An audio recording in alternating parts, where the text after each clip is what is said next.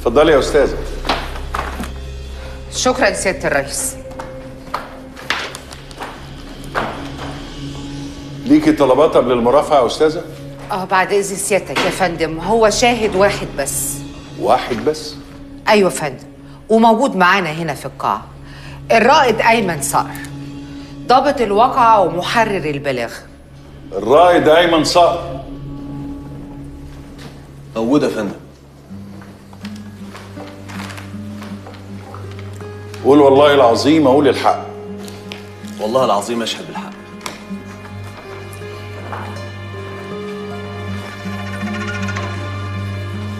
إزاي حضرتك؟ أنا كويس الحمد لله. أيمن بيه بعد إذن سعادتك هو ده محضر الضبط اللي سيادتك حررت عنه الواقعة؟ مظبوط. طب ممكن استأذن من سيادتك ان حضرتك تقرا لنا السطور اللي متعلم عليها؟ المحضر كله عند هيئة المحكمة. مش محتاج قراية. يعني يا سيدي مش هيجرى حاجة. زيادة احتياط. يعني ممكن غلط إملائي. إيه، جملة مش مقصودة. بتحصل ساعات في زحمة الشغل. مش هيحصل حاجة يعني لو حضرتك قريتها. اتفضل. ماشي. وبعد التحقق من شخصية كل منهما وأثناء حواري مع المتهم زياد جابر الكومي تسلل إلينا رائحة غريبة من داخل السيارة وهي رائحة اعتدنا عليها في التدريبات المعملية للعقاقير المخدرة. وعلى ذلك قمنا بتفتيش السيارة حتى عثرنا على كمية الأحراز المضبوطة من الحشيش الأفغاني داخل التابلو. عظيم يا فندم. في أي خطأ نحوي أو مطبعي في الصيغة دي؟ لا طبعا. وطبعا سيادتك ما كانش عندك إذن نيابة لضبط المتهم أو لتفتيش العربية. دي واقع التلبس يا أستاذة. مش محتاجة إذن قبض ولا تفتيش. وإلا أني واقعة فيهم بقى. وضع مخل في الطريق العام ولا حرز مخدر للتعاطي والإتجار. الاتنين طبعا. أنا أقدر أفهم الواقعة الأولانية ولد وبنت في الطريق العام في وضع مش لطيف. لكن الواقعة التانية مخدرات. اسمح لي يعني أنا مش فاهماها. وإيه الغامض في الموضوع حضرتك؟ أنا قلت أنت قلت إنك شميت ريحة الحشيش قبل ما تفتش. مظبوط. كان في دخان حشيش؟ لا يا أستاذة. ريحة حشيش خام ودي مش أول مرة أعملها. وأنا متدرب كويس قوي على تتبع الروائح المخدرة. عظيم جدا. بصراحة حضرتك أبهرتني. بس إحنا محتاجين ننبهر زيادة ونأكد ده. مش فاهم. نأكده إزاي؟ يعني بعد إذن سيادتك وبعد إذن سيادة المحكمة طبعا. لو ممكن حضرتك تاخد لنا لفة في القاعة كده وتقول لنا لو حد هنا معاه حشيش ولا لأ. هدوء لو سمحتوا. بعد إذن سعادة الرئيس. السؤال اللي بتقوله الأستاذة ده سؤال استعراضي. الهدف منه إرباك الشاهد وتوريطه لإفساد الشهادة الأساسية في الواقعة. الاستعراض حصل يا سيادة الرئيس من الشاهد نفسه وشرحه بمنتهى الغرور في المحضر وتحقيقات النيابة. ولو هو واثق من الشهادة بتاعته وعنده الدليل اللي أثبت عليه حالة التلبس وعمل منه ذريعة لتفتيش العربية مش هيتوتر ولا هيرتبك. هيتفضل حضرته. يستعرض قدراته ويورينا إزاي شم حرز حشيش مغلف ومقفول عليه في تابلوه العربية. الاعتراض مرفوض يا حازم بيه.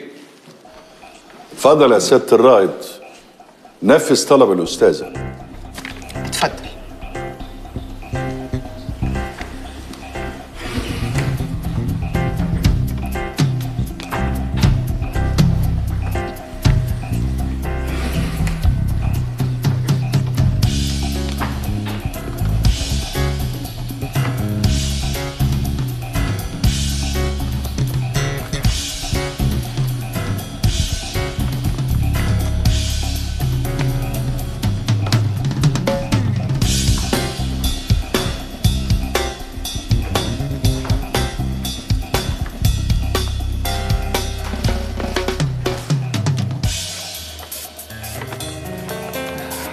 سيادتك أنا واقفة جنبك من الصبح لو كان معايا حشيش كان زمانك حضرتك شميته.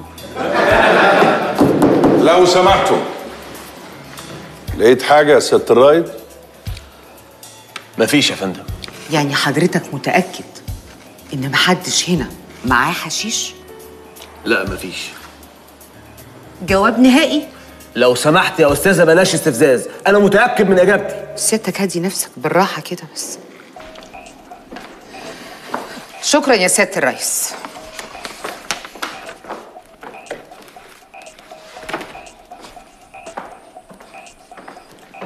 اتفضل سعادتك. إيه ده يا أستاذة؟ مستندات البراءة. براءة؟ مش ممكن. ده حشيش يا أستاذة. بعد إذن سعادة الرئيس النيابة بتوجه اتهام مباشر لدفاع المتهم بحيازة نبات الحشيش علنا وفي حضرة المحكمة. ده مش حشيش يا ريس. ده حشيش طبعا يا أستاذة. ريحته واضحة جدا. بالظبط كده حضرتك. ريحته واضحة جدا. زي ريحة الحشيش بالظبط. بس مش حشيش. أمال إيه يا أستاذة؟ دي حنة يا فندم. حنة؟ حنة بلدي. مخلوطة بمواد كيميائية. ريحتها ريحة الحشيش بالظبط. ويمكن أقوى شوية. وده سيادتك. تقرير المعمل اللي عمل العينة مرفق بيه إقرار من نفس المعمل. بخلو العينة من أي مواد مخدرة أو مجرمة قانوناً. ده صحيح. مادة كيميائية بتستخدمها الأجهزة الأمنية لتدريب الكلاب البوليسية في اكتشاف المخدرات. مادة كيميائية ريحتها ريحة الحشيش وبنسبة أقوى منه 20% كمان.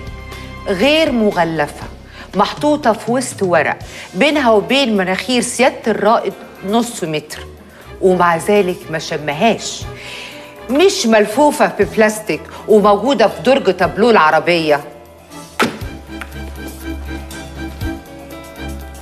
فين يا سيادة الرائد حاسة الشم العظيمة اللي أبهرتنا؟ فين الدليل اللي أسست عليه حالة التلبس؟ فين الحجة اللي دمرت بيها مستقبل شاب بريء لمجرد إن هو ابن رجل أعمال مكروه من الداخلية؟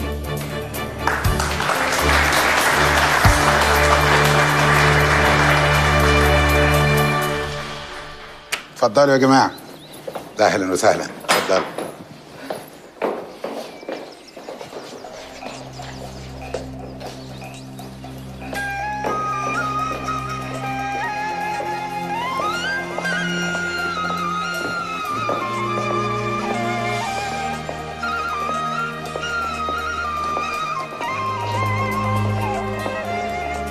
مش معقول.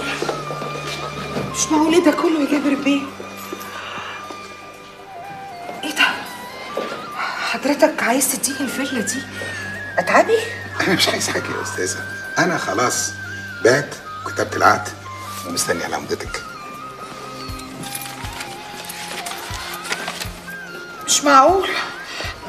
مش ممكن. ممكن على جمال الفيلا. تعالي لما. استني بس يا داليا. جابر بيه. هو أنا عارفة طبعا إن القضية كبيرة ومكسبها سريع بس مش لدرجة إن حضرتك تديني فيلا زي دي أتعابي مش دي ما معقول. تساويش ربع تعبك يا أستاذة. أنت نسيتي عملتي إيه؟ أنت أنقذتي ابني وسمعتي وحياتي كلها. تسوى إيه فيلا زي دي قصاد عبقريتك وفضلك عليا.